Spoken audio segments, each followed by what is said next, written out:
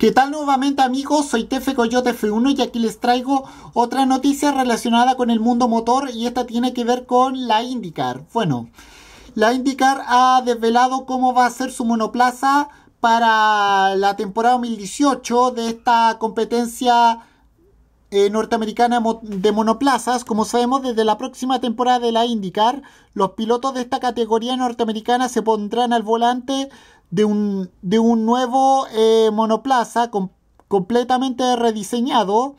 Especialmente eh, está rediseñado en su parte trasera. Y bueno, ahora vamos a ver las imágenes y un poco de información. Eh, dice acá que va a tener que el nuevo auto presenta dos especificaciones, una para los super speedway y otra para los óvalos de menor distancia, los circuitos permanentes y los circuitos urbanos temporales. Se ha mejorado la aerodinámica con una mejoría de la seguridad del chasis que fabrica la marca Dalara para proteger a, todo, a todos los pilotos en caso de accidente. Y, y la presentación fue precisamente en Indianápolis y bueno.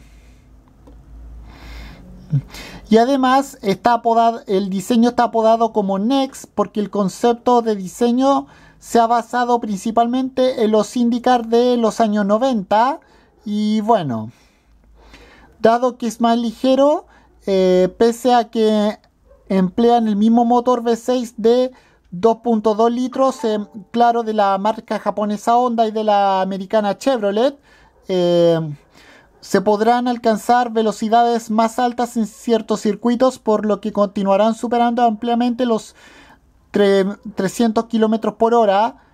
Y así es la nueva imagen de la IndyCar para la, para la próxima temporada 2018. Y, la, y la pregunta que muchos se hacen va, va a estar Fernando Alonso eh, subido en estos eh, autos para las 500 millas de Indianápolis el próximo año. Bueno.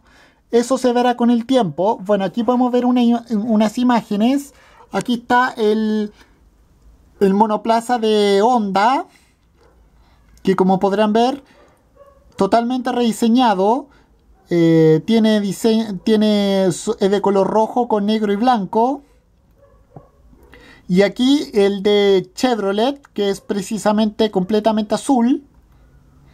Aquí la parte trasera del monoplaza del Honda y, aquí una parte, un detalle la parte trasera de el monoplaza Chevrolet. Y bueno, con esto me despido, nos vemos, adiós, que me fuera, chao.